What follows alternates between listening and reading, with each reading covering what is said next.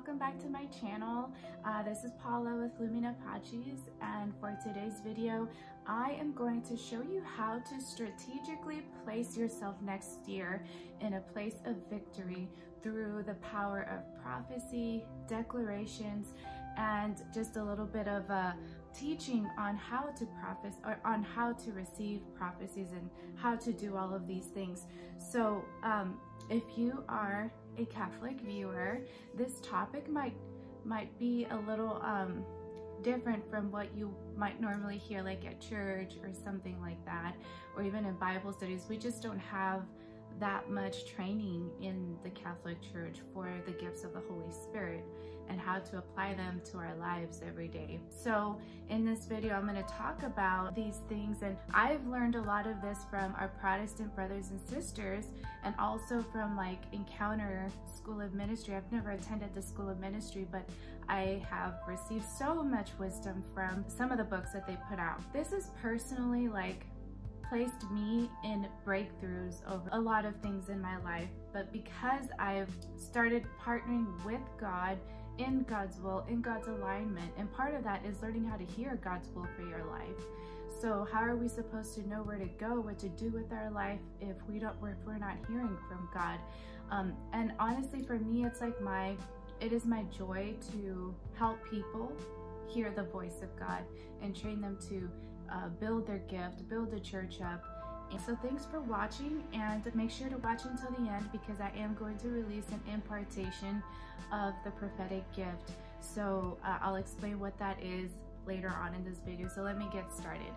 So what is a decree and what is a declaration? First of all, um, decrees and declarations are really important.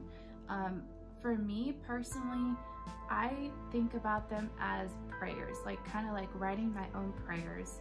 Um, but let's get a little bit more technical here. A dec to declare means to make known formally, explicitly, or officially. So like writing it on paper, a law, think about like legal terms. And then a decree is a formal and authoritative order. So um, especially one of having the force of law. So um, the Bible is full of decrees and their effectiveness and, and how useful they are to God's people. So for example, in Psalm 2, 7, it says that I will declare the decree. And then in Job 22, 28, it says, you will also decree a thing and it will be established for you and light will shine on your ways. In Daniel 4:17, it says about the watchmen, this decision is by decree of the watchers. Queen Esther uh, formed decrees as well. So there's a lot of examples in the Bible about decreeing and declaring. Now, very often we it get it gets kind of a, a, bad connotation because with prosperity gospel preachers and like they've taken it too far out of context but biblically, like if you create your own prayers or declarations, you can have a very effective breakthrough in your prayer life. And that's something that was huge for me in my life. And I, I try to teach and tell people about, you know, declare your word for next year. We're in that season of December where we're starting to think about the new year, the new season. I've been picking words for myself in the last two or three years. And my words this year was wisdom and light. And you guys, like that word was huge. I started this YouTube channel. I began to, I was called into prophecy as a prophet to the nations. So man, the, the, the wisdom and the light, light is revelation. Um, that really like put me in a new level. The year before that, um, my I believe my word was joy, and really um, I encountered a lot of suffering and pain and trial in that year. But because um, I came to know what the joy of the Lord really was, you know, the Bible verse, the, the joy of the Lord is my strength. The Lord strengthened me with his joy, and it was the glory of God that allowed me to get through some of those dark and painful seasons. Um, So I, I believe in the in the power of dec decreeing and declaring God's word over your life. Um, let's look at some examples in the Bible. First of all, Jesus. Jesus always like, I mean, he was full of power. And so very often you'll see like the examples of Jesus doing healing and deliverance in the Bible. You'll see him saying things like, young man, I say to you, rise. And then he'll say like, woman, thou art loosed. And then he'll say, peace, be still, you know, and then rise, take up, take up your bed and walk. Those are the kind of authoritative statements that Jesus and even the disciples used to, to demonstrate the supernatural, to demonstrate the authority of the word of God, the power that resides in the in, in our tongue. It says in Proverbs 18:21 it says that the power of life and death are in the tongue. So de decreeing and declarations, it takes knowing first of all what God's word says. So that takes um, understanding what the word says, but also receiving prophetic information, and that comes through prayer. And then it takes power, which we have because as children of God, children of the light, we have received through baptism uh, the Holy Spirit. And then third, it also takes faith. Like everything, it takes faith to walk into the declarations that God has laid out for us? Do we believe? You know, do we even receiving a prophetic word you have to you have to have faith to receive. So I can't tell you enough how much that component of faith takes part in this decreeing and declaring and prophesying. Okay, so I've explained a little bit about decreeing and declaration, but now what is exactly, like how do you do it? How do you decree a thing? Well, we just look at the Bible um, for examples of that. And really all it is, you know, is Catholics especially, um, Catholics are really good at reading prayers, you know, we've got little prayer cards for everything. but here's the thing, that those prayers were made by somebody else. And while they do carry an anointing and, and, and truth, and they're beautiful, there is so much power in actually writing your own prayers and that's what I call a declaration. Writing your own prayers that are aligned with the word of God and God's will for your life, tailor-made, personalized, customized just for you what God wants to say to you. And that's so much more powerful and we and I believe that the power of mental prayer um, needs to be exercised. We have to be trained in this activation. We have to activate this into our lives so that we may be in the offense and not in the defense of the spiritual warfare like we tend to do. Okay, so how do you prophesy? Okay, um, it kind of sounds like a big antiquated word, but prophecy really is just being the voice box of what God is saying. And the Bible in the New Testament says that my sheep hear my voice, okay? My sheep hear my voice and and my my sheep hear me. Okay, so we've got voices going on in our heads all the time. We've got our flesh talking to us. We've got um, the enemy talking to us. We've got our addictions or strongholds talking to us. And so how do you filter through all of that and hear God's voice? His voice is very distinct. It is a whisper. And there are a few activations that I can um, I can share with you. Um, for example, if you're a mother or a father, have you ever picked out a name for a baby? Picking out a name for a baby is such a great activation because it's it's like you're you're you're coming into the tuning of that radio frequency of the Holy Spirit and because God has already called you by name, right? It says in the Bible that I have called you by name, like I knew you before I formed you in the womb. And so there's a name out there that God already ordained, and He speaks through the parents, the father who is the priest, the mother as well, and He speaks through the parents to name that child. And so if you've ever gone through that process of picking out a baby, it takes discernment, you know, it takes a it takes a discernment. I always love to hear how people come to figure out their baby's name. And, and really that's what this is all about. That's prophecy. That's exercising the gift of prophecy.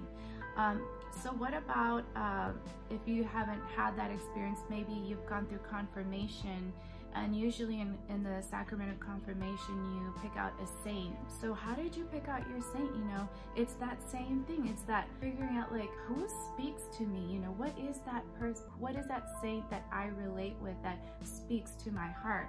It's the same with spiritual direction. You know, finding a spiritual director can be really, really hard. It's like dating, you know whose voice can I hear, you know? And God uses different people to speak to us and through them. And so it's kind of like that. It's it's kind of like it's just discernment. It's discernment of God's voice. And eventually, as your spiritual uh, senses mature, you will begin to like be more readily aware of God's voice in your life. So I believe that God wants to speak a new word, a fresh word into the new year for my life, for example. And I believe he wants to do that to, for you too. And this is a great time to pick a word for your next year. And so I want to encourage you in that. And so in this video now, I'm going to give you nine activations so that you can prophesy to yourself. And as you begin to prophesy to yourself, you will become uh, you, you will start to discover this gift and, and just be in love with God's revelation, which is God's word. Um, and then also helping build the church, build the kingdom, because that's the end goal of prophecy. It's to build the church. Okay, so activation number one, ask God. Ask the Holy Spirit. And the way that I like to ask God is by putting a demand on the Holy Spirit. And that sounds kind of like putting a demand. How do you you know, you're trying to control God or something. Well, no, but simply we quote scripture to activate God's promises. So, for example, I like to say, Father, you say that your sheep hear your voice. And Father, I partner with that word, Lord. I believe that I can hear your voice. And so when I pray in that form, it not only activates that promise, that scripture, but it helps me believe because faith comes from hearing and hearing from the word of God. And so it actually helps me, but I like to pray in that way because I know when I pray the the words of God himself that God is a good father and he's going to he's going to deliver uh, an answer for me and and it works every time for me. I love it. I love it. God is so good.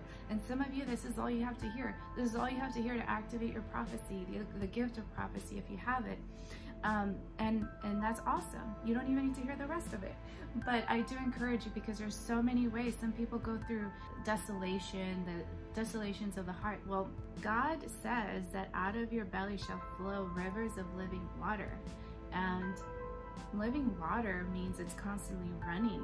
And so sometimes you have to go into the rest of these activations to kind of start fanning the flame and stirring up the spirit so that we can uh, hear from God because God wants us to search him out. You know, the Bible says that it is the glory of God to conceal a matter and it is the glory of kings like you and me to search that matter out.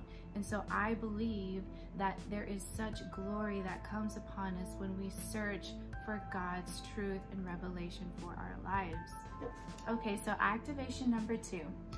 Activ activation number two is about hearing God through other people. God speaks through other people because God is inside of us and each one of us. And so if I go to church and I if I hear a sermon or if I am part of a Bible study or if I'm in a retreat, um, I like to ask God, what is my word for this weekend? Like if I'm a part of a retreat, I will ask God. I was taught by my spiritual director to say, you know, look for God's word in that. What it, what was the word that you kept hearing? You know, what speaks to you?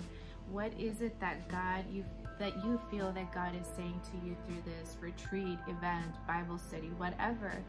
Okay, so look for repetition of words, look for patterns. There was a season in my life that I began to receive clothes and it was funny like the color of the clothes that I was receiving out of nowhere like no celebration nothing um, but what the Lord was saying to me in that season was I am clothing you with with uh, with virtue with revelation even and so that was that was a really awesome thing that I noticed whenever um, whenever like on my birthday and I celebrate with friends and start receiving gifts, one of the activations I like to do is like, okay, what's the pattern in all of the gifts that I received?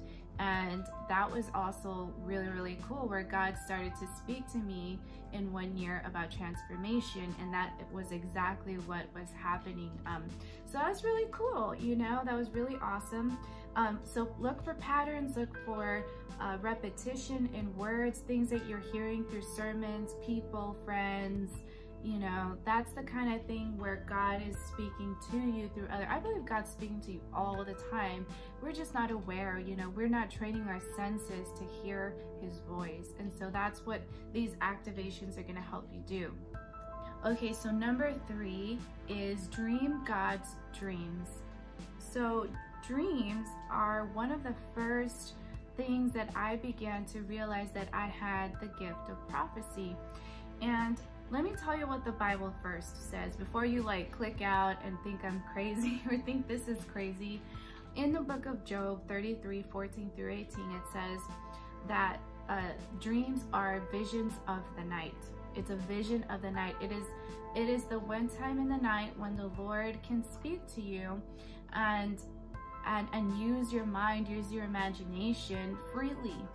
And so what it says there in, in verse 15, it says, um, when deep sleep falls upon men as they slumber in their beds, he opens their ears, so he's activating your ears to hear him, and he will terrify them with warnings. So he, he, he uses dreams sometimes to warn us. And then he says to turn a man from wrongdoing and keep him from pride. So he, the Lord preserves our life, our virtues, um, keep us from doing what's wrong. So sometimes we, we're really quick to dismiss our dreams as, you know, oh, that was from the devil, or oh, you know, that was, that I don't know if that was from God. Uh, but then it says that it preserves our soul from hell, from the pit and his life from perishing by the sword. That was like one of the things that I had from a very, very young age. I've always been interested in like dream interpretation. But you know, there's a lot of really kooky things out there. You gotta be really careful with like new age stuff, witchcraft, all of that kind of stuff. If it if the source is not biblical, scriptural, like from God, it's really open to a lot of error and false prophets and and maybe not even so much error, but it's an open door for the demonic. I was full of those when I was young because I was searching for an answer to what I was dreaming um, because I knew they carried weight. They were, I had, when I was little, I would dream things that were like really, um, just really impressionable on me and even now I have a very active dream life. I keep I keep a dream journal, and the Bible actually says in Habakkuk 2, chapter verse 2, it says, uh, "The Lord is instructing uh, the prophet to write down the vision that he's having," and so this is a way that we honor the revelation of God, even if I think it's like the dumbest dream ever sometimes we we need to take it to the lord and say like god where were you in this dream? Not everything is from the holy spirit and a lot of it comes you know a lot if, if our lifestyle is watching you know horror movies and whatever is going into my mind into my eyes into my ears if it's not godly um it, it actually kind of like muddies the, the the filters through which i can hear the voice of god and so a lot of that can be tainted by the enemy um, through the open doors that we have in our lives. So I always seek biblical interpretation and I always ask the Holy Spirit. Dreams are full of symbology. I love dreams because it's usually like a storyline. It's it's awesome, but it's very open to interpretation and full of symbols that can often be like misunderstood or even overlooked. And so one of the things that I've learned to pay attention to in dreams, and I can do a whole other video on this, but look for the names in the in the dream. Like there's certain people with names. Sometimes you dream people not really they don't have anything to do with the dream. It's the name that they have that the lord wants to speak through. And so look for the meaning of the name behind the people you see in the dreams. And then also um, pay attention to colors street signs, numbers, buildings, houses.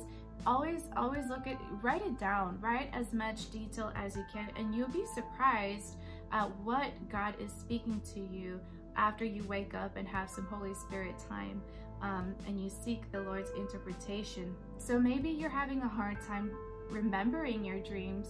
Uh, what happens is that when we dream you know i think a lot of people dream most people dream they just don't remember that what they're dreaming and so a way to do that is by first thing in the morning, the first thing I do is I open up my notebook and I write down whatever vision. If I wake up in the middle of the night, um, I write down the time that I woke up because sometimes it's like 333 or, you know, 444.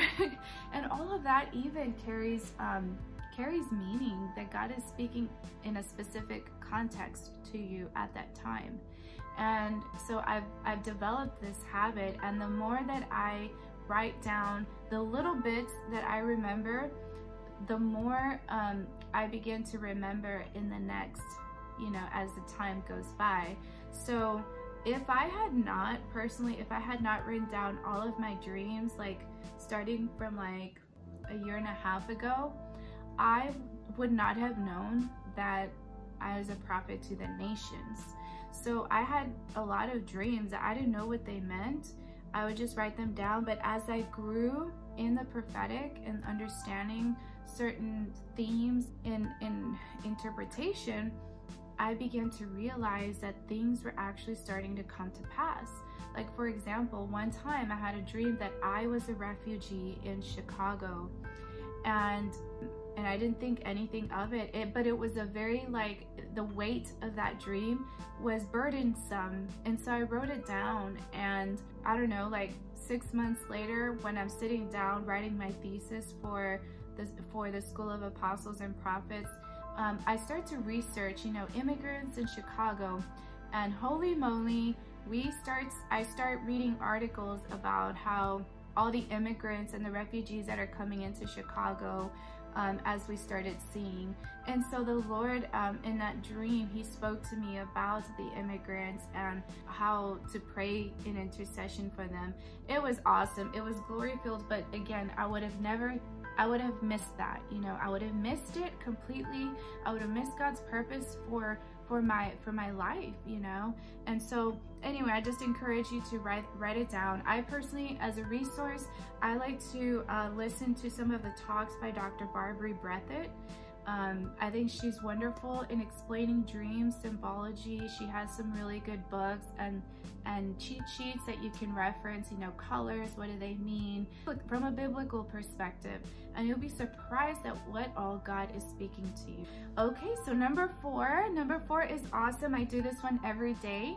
Number four is activation through the rosary. And one of the things that is often overlooked about Our Lady, the Blessed Virgin Mary, my mother, is that she is titled Queen of Prophets. So she is the Queen of Prophets and she will obtain so many graces for you. Um, when I do the rosary, I never, I never not receive a, a piece of revelation because Our Lady is interested in um, the nations. She is the mother of the church. She is the she is Holy Mother, and she is constantly interceding for us to her Son Jesus. And so, I've received so many breakthroughs. If you've never done a Marian consecration, I really encourage you to do that because it just gave me so much breakthrough in my life that it was awesome and holy and only brought me closer to Jesus. So number five now is go to adoration. Come to the heavenly table in the Mass, in the Eucharistic uh, Adoration Chapel. Why? Because meditation is key. When you're trying to listen to the voice of God, um, prayer is like talking to God, but meditation is listening to God. And a lot of people get burned out because they think they don't hear anything. They just don't know how to ask the right questions. So a lot of uh, what I do when I meditate um, on the Lord is I ask good questions. For example, like the story of Hannah. Hannah was obsessed with getting a baby, right? She wanted to get pregnant because the pressures of society at the time, but God would not answer her the way that she wanted.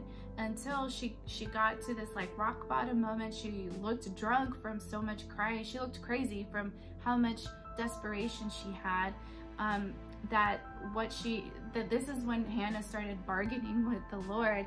And she finally like got it right. She said God I will offer you my firstborn. He's yours. I just want to have a child and I will give him to you. And so we have the amazing prophet Samuel that we see in the book of Samuel so you know it was about asking the right questions that that she finally tapped in to God's will, what God actually wanted from her. But she had to spend that time. I don't know how, how long she must have been in that chapel praying to God to hear her prayer. Um, and sometimes that's what it takes. We have to pray until something happens. Push. That's a cute little acronym. Pray until something happens. Another thing I like to do is keep a journal with the questions that I ask the Lord. I ask the Lord a question and then I just listen. You know, I just sit there and listen and I uh, I start receiving visions. You know, I'll receive a, a, an image or full-on vision. You know, like a 3D picture, moving video type vision of of what God, whatever God wants to show me in that time. Um, but think about it like a phone call when you sit in adoration. I like, first of all, the setting of adoration is awesome because you're not being bothered by anybody. Well, most of the time, you're not being bothered by people. It's quiet. And hello, like you're in the presence of God. Like God is literally shining glory and revelation on your face. And the level of protection of the type of visions and, and, and prophecy that you received during that time is really pure. Um, what, what the other thing I will say about meditation, think about it kind of like a phone call. When you, when you dial the number, that's like your prayer and then when you put your phone up here, you know, you're listening, you know that they're gonna answer, or at least you'll get a voicemail, but but you know they're gonna answer. And so it's that kind of expectant faith that God will answer your prayer. I remember the first time that I received a word of knowledge, that was like, wow, you know, I could not believe. But then after that first time, I began to I began to just expect it. You know, today I pray the rosary, I expect revelation. I uh, pray and ask questions, I, I receive every time. And when I don't receive, I change my question, you know? And so then I start, you know, it's just, it's about the details. It's about um, building a prophecy, you know, building a revelation that you can, you know, it's one thing to receive revelation. Anybody can, you know, receive revelation. It's, it's about converting that revelation into a prophecy. Like where is, Where's God's will in this? Because that's all we do is we're declaring God's will for God's people and whatever he wants to speak. And so we have to be aligned with that because when you pray in God's will, you're in God's protection and you're in God's authority. And when you're in God's authority, you are so powerful. Your prayers are powerful. Your prayers are heard.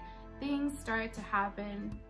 The spirit, the spirit begins to shift things in your favor and and you start to build in God's kingdom. So adoration, um, I love going to, to, to, I love going to adoration because it's like being in the presence of God and having the lights on. You know, it's like, okay, I read the Bible and then like, you can't read it without turning the lights on, right? It's kind of, I don't know how to explain it, but it's beautiful. Go to adoration. Number six, come into the spirit of prophecy. What is the spirit of prophecy, you're asking probably? The spirit of prophecy is an atmosphere. It is a worship-filled atmosphere where so much can happen within that atmosphere that's stirred up. It's like a fanning of the flame. Um, very often, like at my church, and I know most churches offer nights of praise and worship, and they're so powerful, especially when they have the Eucharist um, exposed, because it's in this setting that you can experience crazy revelation breakthroughs. We just don't know what what's happening. And so whenever like I'm a worship leader at my church and so whenever we praise and worship, there comes a point in the worship service that the Lord tells me it's time. now. Now a breakthrough can happen. Now healing can happen. And so when whenever that happens, um, I know I can go up to somebody and say, I want to pray for you right now. I feel like the Lord wants to do a healing work in you. And I can prophesy over people in a new way because it's so easy when, when the spirit is stirred, when the atmosphere is created, this is facilitated. Um, you can get deliverance, you can get healing, so many things, so many awesome, awesome things. I want to point out in the Bible, Psalm 100 verse 4, it says, Enter his gates with thanksgiving and his courts with praise. Give thanks to him and bless his name.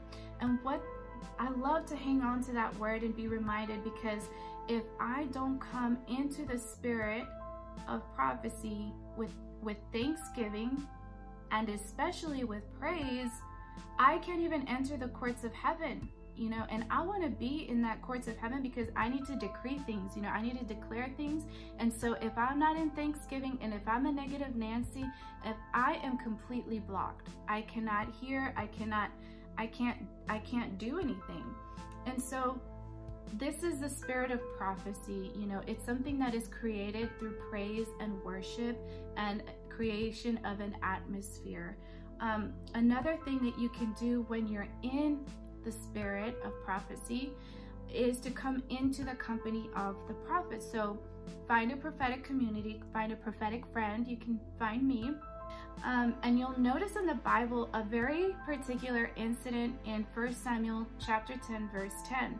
When Saul was appointed uh, king by Samuel, he went, it says that he went into the company of the prophets, and Saul began to prophesy. Why? Because the prophets were creating a spirit of prophecy. They had an atmosphere. They were praising and worshiping. And all of a sudden you see Saul, who doesn't have a prophetic gift. He's a king, you know, he's destined to be a king. But that's what it means that when we come into other into the umbrella of other prophets, it's like, it's so contagious. It's a spirit of prophecy. It is contagious and um, I know for, for a fact that like when I'm around other prophets, even when I hear another prophecy, I get another vision. Like they see one thing and I see the rest of it. You know, it is so, so cool. But that is how the spirit of, of prophecy operates. And another thing about the spirit of prophecy is receiving impartations. What is an impartation? An impartation is a transference it's like a transfer of graces of the spiritual gifts. So for example, I have received many spiritual impartations of the gift of prophecy um, through other prophets. They will literally place their hands over you and they say, I bless you with visions and I loose words of knowledge and dreams and all these things. And um, But you know what? It is biblical too. We see that in the book of Romans chapter 1 verse 11 where Paul wants to share some spiritual gifts for the strengthening of the church of Rome. And so that that's one incident. And then we see also the example of Moses and Elijah where they also wanted to transfer the the the mantle, the grace, the gifts, whatever they carried. Um, a really awesome saint that I didn't know also did this was Saint Vincent Ferrer and he was a really great preacher but he he followed up with his preaching of repentance with supernatural demonstrations. But he would get really tired of doing all this work. And so what he said is like you do it yourselves. And i'm i'm in that camp. I really believe that too. You know it's like teach a man train you how to fish so that you can go out there and but you know it's it's about building by multiplication especially being in the new covenant in the new testament we are meant to all hear the voice of God. I, I strongly believe that. And so sometimes you, you just need a little like activation from someone. One thing, whenever I minister to people, whenever I come across somebody who's just kind of like, mm, you're a little crazy lady, you know, you, you, you're, you're talking all this mumbo jumbo. Um, what I like to do is, you know what? Let me let me do an impartation right now and I like to pray that God will give them a vision and this has been so so effective and awesome because then they receive a vision and it's not me you know it's coming directly to them and so you know when you experience that kind of doubt that is one way to help them to see that God does want to speak to them. And then praying in tongues. Praying in tongues is one of like the lowest level of gifts, but praying in tongues is the way that we activate a spiritual atmosphere. It's like charging. It's like electricity. The Bible says that praying in the spirit, you're you're actually declaring the mysteries, the prophecies of God, the mysteries, the utterances of God, where the spirit intercedes on our behalf in groanings unexplainable. And so the spirit is actually praying on our behalf in God's perfect will. And I'll have to do a whole separate video of what how how that is and what the Bible says about that. But um but that's that's one way to electrically charge an atmosphere. And when that happens, like for example, I like to pray in the spirit when I'm walking around my neighborhood. Oh my gosh, like you can be you can declare a spiritual atmosphere in your home. That's how powerful it is. It's awesome. And then I will say this one thing. I will say this one thing about prophecy. If you maybe you're watching this and you've already received a prophetic word, a prophetic word over your life. And here's the thing that you actually have to receive it. You have to accept it. And how do you accept it? It's through faith. You say, okay, I believe I accept that word for my life. I declare that word for my life as well. I partner with that word for my life because there's so many times that a prophetic word is given to people and they're kind of like well whatever you know um maybe. But no like you actually have to have faith to exercise that. Sometimes when we do healing and deliverance sessions over people you'll notice that you get you you receive some healing and then like three days later it comes back. Why does that happen? Well sometimes it's simply a matter that we stopped believing and so that happened to me. I received um, i received healing over an arrhythmia that was happening in my heart. And then like i don't know like three weeks later it i started to feel it coming back. And i realized you know what? I'm just gonna believe right now. And i said i believe i was healed. And you know what? It went away again. So praise god for those things. But again i'm telling you it takes it takes a lot of faith. It takes faith. Okay, number seven. So up until this point, maybe you're not feeling too connected and maybe um, you just want to be practical. So you know, maybe you know exactly the kind of breakthrough or healing that you're looking for, but maybe you're just not praying in God's will and God's alignment with his will. And so what, one of the things that here, this activation is, is great. Like what does the Bible say about your situation? What does the Bible say? Maybe you're maybe you're at a crossroads in your marriage and you don't you don't know whether, you know, God is actually telling you to get divorced or not. You know, what does the Bible say about divorce? It says God hates divorce, you know, blah blah blah blah. And, you know, maybe a separation is is the right thing. I don't know.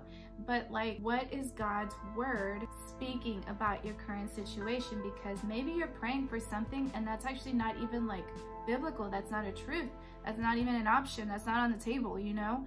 And so when you start praying out of alignment of God's will, then that becomes that that becomes your Ishmael.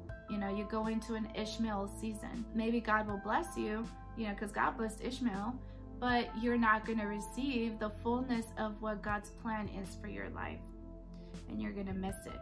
Another thing is like, do you have a spiritual director? A spiritual director can help you get into practical wisdom. The Bible says in the book of James that if, if you lack wisdom, ask the Lord for wisdom and he will give it to you generously. So pray for that word of wisdom over your life.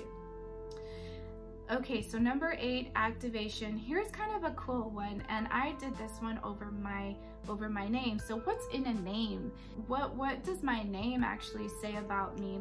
Well, if you've gotten to this point in the video, you've realized that declarations are really important. They can dictate whether something prospers or something completely fails. And so if you look at your name, what does your name actually mean that your parents gave you? Your name carries a meaning and if you like kind of dig into that, you'll notice some themes in your life. For example, my name is Paola and what it means is little one or humble one. And if you know me and if you even just like research my Facebook post from like 10 years ago, you'll notice that I had incredible pride. I mean, I'm still very, that is a character defect that I work on actively. And so my name actually is a declaration for humility. It, it, it's, it's healing to me. When people say my name, I receive, I think about humility. And then my last name, Rivers, Rios is my maiden name, Rios, and it means rivers. And then when I married my husband, his last name is Paz, peace. It means peace. And so humility, rivers of peace. rivers of peace is the name of this channel. Flumina Pacis in Latin means uh, rivers of peace. And I declare that over this channel, you know, and, and God's peace is so much different when I married my husband, you know, we didn't have peace to be honest. You know, for like the first year was very difficult and even later on we had very difficult marriage. But you know what? God came through and he did declare rivers of peace in my home. And to God be the glory for that. The Lord taught me what the peace in the middle of the storm was. The Lord taught me those things. That is a thread of my life. And so I I love to share that with people because God wants to say something through your name. And maybe you've had a very difficult life and your name is awful. Maybe, you know, I was sitting at the doctor's office one time and they called out a girl. Her name was Jezebel. I was like, Dear Lord Jesus, oh my gosh, does she know who Jezebel is? And I almost started like, I wanted to minister to her. But you know, you can change your name. You can actually if if the name means something evil then you can um, turn it around you know you maybe the call on your life is to attack the spirit of jezebel. Maybe that's what god called you to be. You got to look for the thread of god's work in your life. So maybe that's something you want to look for. That's a prophetic activation that i like to encourage people to do. Okay and so number nine activation number nine is god's word duh. That is revelation. Every single sentence in the Bible is a prophecy that can be spoken over your life. One of the activations that I like to do with God's word is just look for something you relate to in the Bible. You don't have to be a theologian. I'm not a, I love the Bible. I'm not a theologian, but I know how to apply the Bible to my life. And so one of the things that I like to do is in the book of Psalms, which Psalm speaks to you and I like to dissect it, I like to obsess over it, and I like to prophesy a psalm over my life. That's that's a that's a really good one because the Psalms are book is a book of healing. It's a book of song, you know, and singing is healing um, to your soul, and it teaches you how it instructs you and it, it teaches your soul how to how to live the only thing I'm going to say about God's word is that you can't just read it. The Bible is the only book in the world that has to be read with someone, and that's the Holy Spirit. So if you're reading the Bible to just kind of like study it, like you can't really.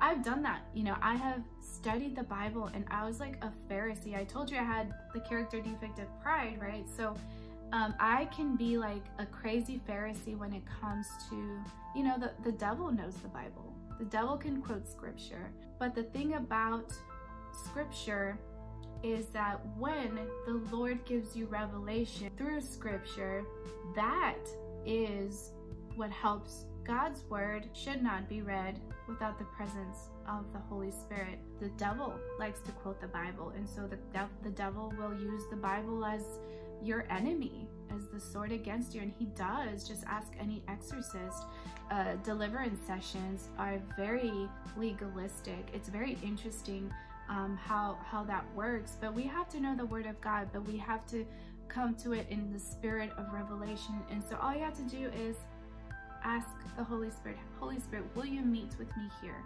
Will you meet with me? Will you provide a word of revelation for my life? And the lord will speak.